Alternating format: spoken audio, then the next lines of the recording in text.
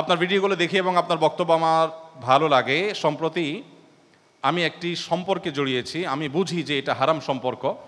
আল্লাহ এসব, এই সম্পর্ককে নাজায়েজ করেছেন। কিন্তু এখানে আমি সরি আমি এটা থেকে বের হতে পারছি না। কারণ আমার তাকে ভালো লাগে, আবার আল্লাহ ভীতিও কাজ করে। এখন আমি আমার কর্তব্য স্থির করতে পারছি না, এ বিষয়ে আমি আপনার সহানুভূতিপূর্ণ বক্তব্য কামনা করছি। দেখুন এটা এটা হাতে তালি দেওয়ার মতো বা খুশি হওয়ার মতো কোনো বিষয় নয়। এ রোগের রোগী এখানে হয়তো বেশিরভাগ মানুষ আপনারা। সো আরেকজনেরটা শুনে এত হাতে তালি দেওয়ার কিছু নেই। আমি একটি কথা বিনয়ের সাথে আপনাদেরকে বলতে চাই। আপনারা এই জাতির ভবিষ্যৎ কর্ণধার।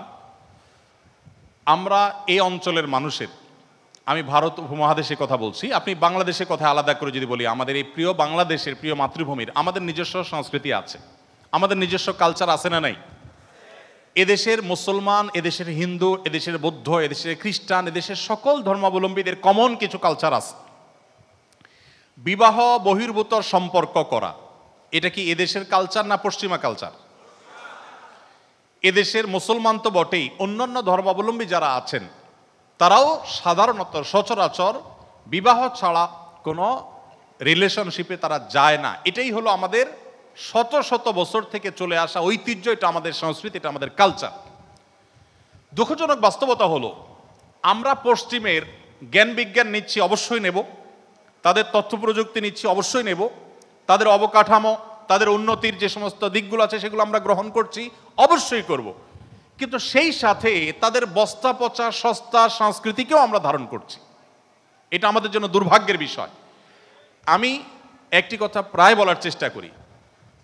পশ্চিমারা এবং উন্নত দেশগুলো আমাদের চাইতে জ্ঞানে বিজ্ঞানে, তথ্য প্রযুক্তিতে, শিক্ষায়, আবিষ্কারে, অবকাঠামোতে অন্য অনেক দিকে, এমনকি শৃঙ্খলায়, ডিসিপ্লিনে অনেক দিক থেকে তারা যদি আমাদের চাইতে একশো বছর এগিয়ে থাকে। পরিবার ব্যবস্থাপনায় দাম্পত্য সম্পর্ক ভালো থাকার দিক থেকে আমরা তাদের চাইতে দুইশো বছর এগিয়ে আছি। তাহলে কেন তাদের সব সংস্কৃতিকে আমার ধারণ করতে হবে। আমার তো নিজস্ব সংস্কৃতি আছে। মনে রাখবেন, দাম্পত্য সম্পর্ক, এটা উন্নত দেশ যতগুলো আছে, সবগুলো দেশ, আমরা কমনভাবে সবগুলো দেশে কথা বলতে পারি, সবগুলো দেশেই দাম্পত্য সম্পর্কগুলো শেষ হয়ে গেছে। পরিবার ব্যবস্থাপনা ধ্বংস হয়ে গেছে, মুখ থুবড়ে পড়ে গেছে। বাবা সন্তান সন্তান, বাবা। আমাদের এই সমাজে যতটা একজন অন্যজনকে অনুভব করে আমাদের এখানে আমরা সন্তানরা বাবা মাকে যতটা ভালোবাসি, বাবা মা সন্তানকে যতটা ভালোবাসেন, ওরা এতটা কল্পনাও করতে পারে না।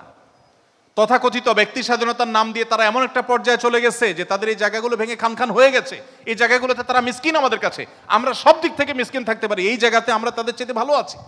কিন্তু দুর্ভাগ্যজনক বিষয় যে আমাদের তরুণদের একটা বড় অংশ তাদের সে সমস্ত সস্তা সংস্কৃতিকে আমদানি করে নিজেদের স্বকীয়তাকে আমরা ধ্বংস করে ফেলছি।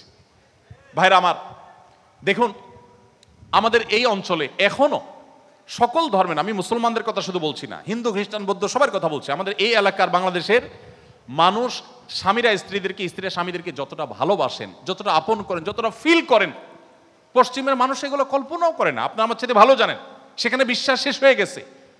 প্রত্যেকটা দাম্পত্য সম্পর্ক ধ্বংসের দ্বার প্রান্তে। আমি একটা কথা প্রায় বলি যে মোবাইল ফোনে আপনারা দেখবেন, স্মার্টফোনগুলোতে বিভিন্ন অ্যাপসের অ্যাডভার্টাইজ আছে ফেসবুকে এই অ্যাডভার্টাইজগুলোর অ্যাডভার্টাইজগুলোতে একটা কমন অ্যাডভার্টাইজ বারবার চোখে পড়ে, সেটা হলো যে হয়তো হাজব্যান্ড কিংবা কিংবা ওয়াইফ বাসার সোফায় হয়তো ঘুমিয়ে পড়েছেন মোবাইলটা হাতের মধ্যে, তখন তার সঙ্গী যিনি, তিনি চেষ্টা করেন মোবাইলটার লক খুলবার জন্য। কিন্তু লক খুলতে পারে না, কারণ ওই অ্যাপের কেরামতি, যে অ্যাপ, এমনভাবে ওইটাকে লক করে ফেলছে যে কোনো কেরামতি করে আঙ্গুলে ছাপ দিয়েও ঘুমন্ত স্বামীর বা ঘুমন্ত স্ত্রীর মোবাইলের লক খুলতে পারছে না। এই অ্যাডভার্টাইজটার মিনিংটা কি? আমাকে বলবেন?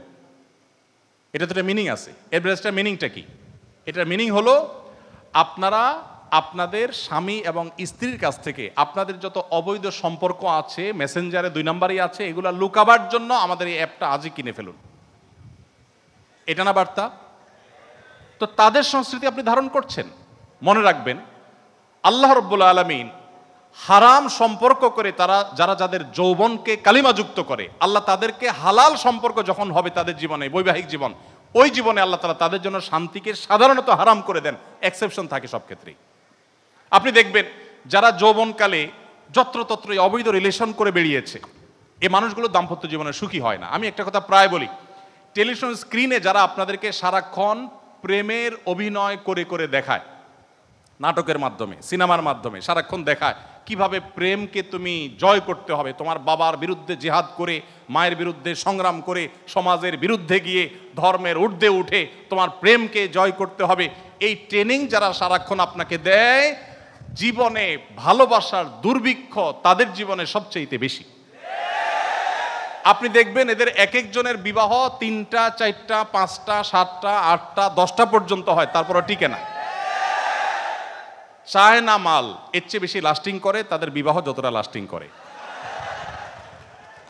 তাহলে, আপনি, আমি যারা পশ্চিমের এই সংস্কৃতিতে গা ভাসিয়ে অবৈধ রিলেশনে যাচ্ছি, আমি কেন আমার ভালোবাসাগুলোকে জমে রাখছে না? দেখুন, আমি একটা কথা প্রায় বলি, ভালোবাসা এটা সফট ড্রিঙ্কসের ঝাঁঝের মতো। সফট ড্রিঙ্কসের ঝাঁঝের মতো। বোতলের মুখ খুলে ফেলবেন ঝাঁঝ চলে যাবে।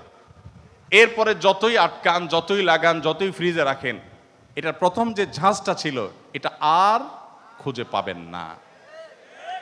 রাস্তাঘাটে, অলিতে গলিতে, ক্লাসরুমে, রেস্টুরেন্টে জাগায় অজাগায় আল্লাহর দেয়া পবিত্র ভালোবাসাকে অজাগায় কুজাগায় ব্যয় করে যখন ঝাঁজ শেষ করে ফেলবেন, বিবাহ করার পর বৈধ সম্পর্ক যখন আসবে, দেখবেন ভালোবাসার পুঁজিতে টান পড়েছে।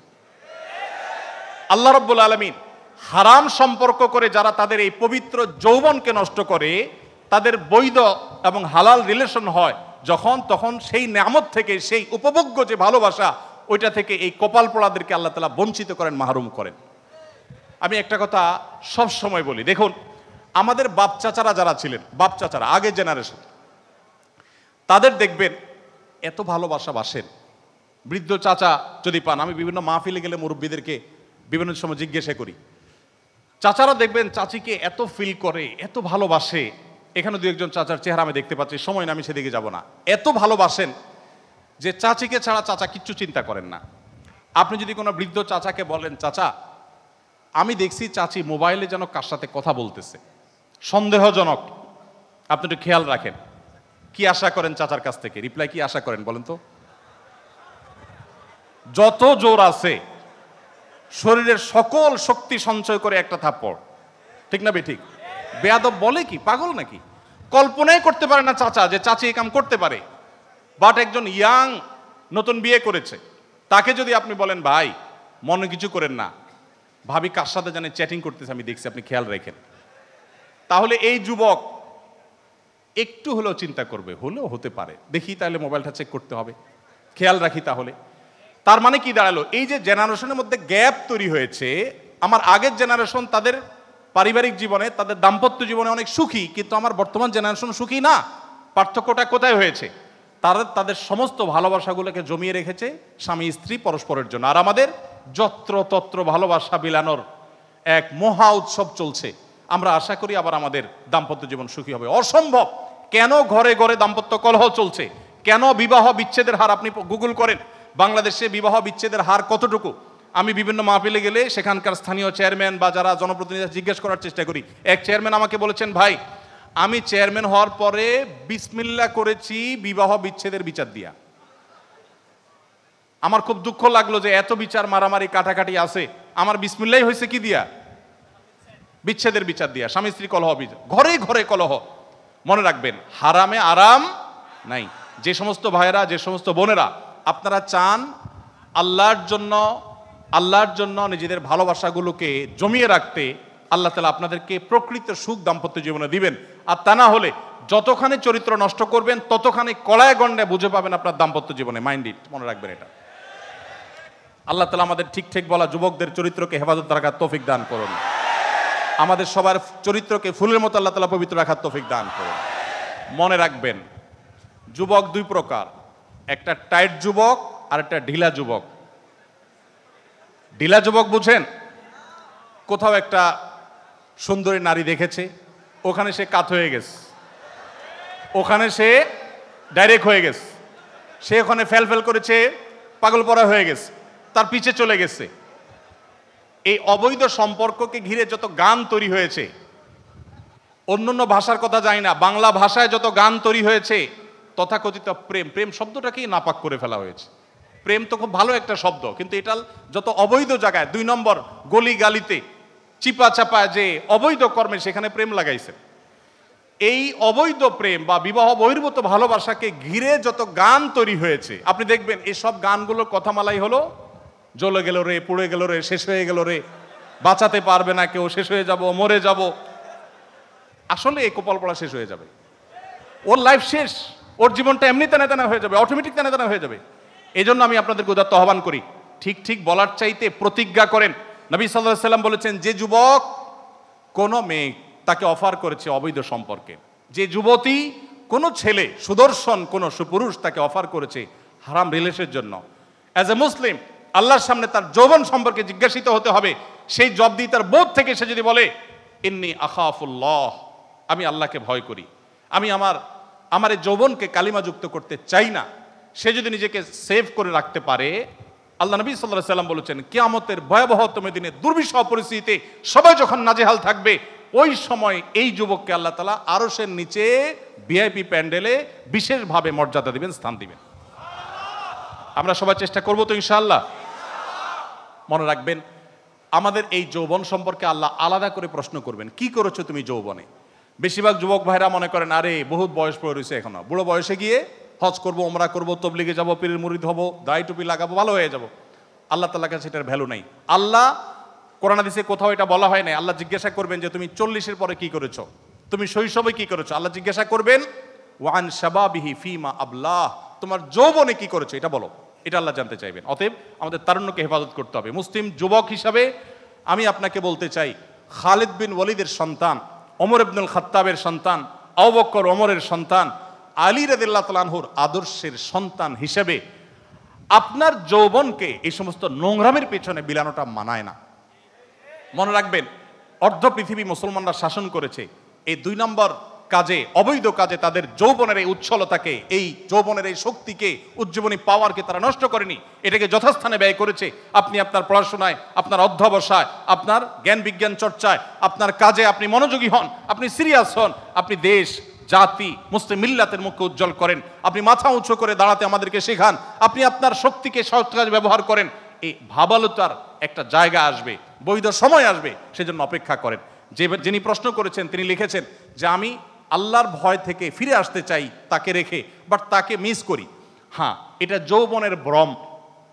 এটা যৌবনের ভ্রম। এ বয়সে সবারই কম বেশি এ ধরনের শয়তান তার মনকে আকৃষ্ট করে, আগ্রহী করে তোলে। সংগ্রামটাই তো এখানে, সার্থকতাটাই তো এখানে যে আমি লড়াই করে তার সাথে টিকে থাকব, বেঁচে থাকব।